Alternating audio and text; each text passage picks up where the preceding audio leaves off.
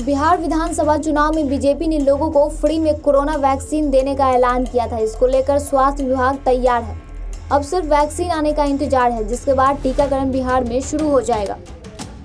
बिहार में टीकाकरण के लिए जिला स्तर पर टीम का गठन करने का काम किया जा चुका है। अब प्रखंड स्तर पर टीम बनाई जा रही है।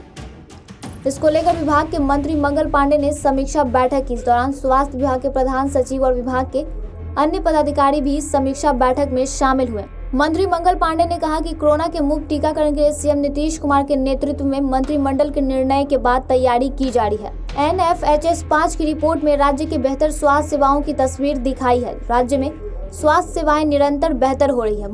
मंगल पांडे ने कहा कि पिछले चार सालों में शिशु जन्म दर में लगभग 15 प्रतिशत की वृद्धि हुई है। परिवार नियोजन के लिए लगातार जागरूकता अभियान चलाया जा रहा है। इसके अच्छे परिणाम भी आए हैं।